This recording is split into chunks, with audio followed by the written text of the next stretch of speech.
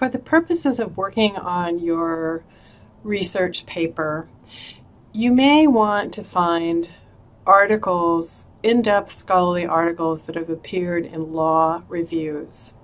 So the best database that the library has for doing that is called Nexis Uni. From the library homepage, we'll navigate to that by going to the Databases and Articles tab. Then we'll go alphabetically and choose the database here.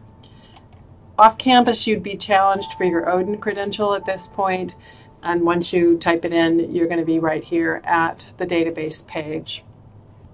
Nexis Uni includes a lot of material uh, law reviews, legal news, newspapers, full text of magazines, some news transcripts, company information, financial information, kind of a hodgepodge of information types.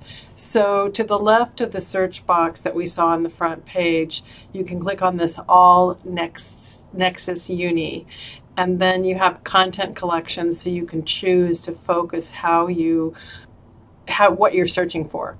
So we'll say law reviews and also legal news. Legal news, of course, won't be scholarly law review articles, but there may be very interesting events that will be uh, surfaced by choosing legal news.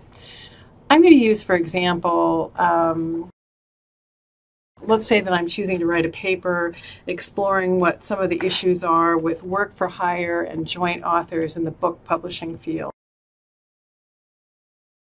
my search statement is going to look like this.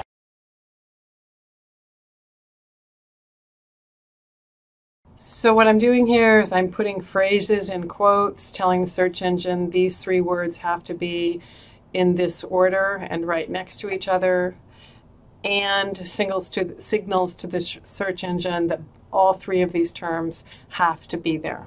And then just click the search button at the bottom to execute the search. So now we're looking at the results of a search and we can click on the title of the article and it will come up and here we are looking at the full text of the article with the terms that we've used in our search highlighted.